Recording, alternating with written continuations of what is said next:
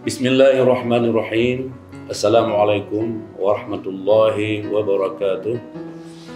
Pada hari ini Senin tanggal 12 Oktober 2020 Rektor UIN Araniri Kopelma Darussalam Banda Aceh dengan resmi melepaskan sejumlah 4.435 mahasiswa peserta kuliah pengabdian masyarakat dari Rumah Inovatif atau KPM DRI dengan tema moderasi beragama di masa pandemi COVID-19 semester ganjil tahun akademik 2020-2021 Universitas Islam Negeri Araneri Kopel Darussalam Aceh tahun 2020.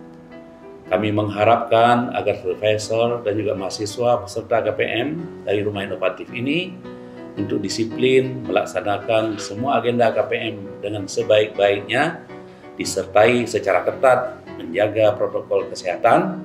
Semoga sukses dalam melaksanakan tugas sehari-hari.